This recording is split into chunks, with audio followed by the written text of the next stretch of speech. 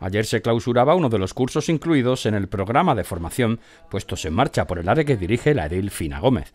16 alumnos han completado con éxito el curso denominado Conducción y manejo de dumper y conducción de carretilla elevadora, que ante la demanda generada se puso a disposición de los vecinos por segunda vez. La temática ha constado de 16 horas lectivas repartidas en cuatro días con parte teórica y práctica. Precisamente la parte práctica se llevó a cabo en la nave municipal del polígono La de Silla y en el recinto ferial, y la parte teórica en el centro de formación.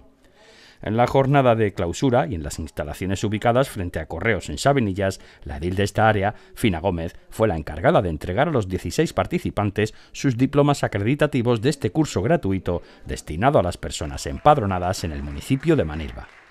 Desde la Delegación de Formación se anuncia a los vecinos que continuarán poniendo en marcha este tipo de cursos con el objetivo de seguir facilitando el ingreso de los participantes en el mercado laboral.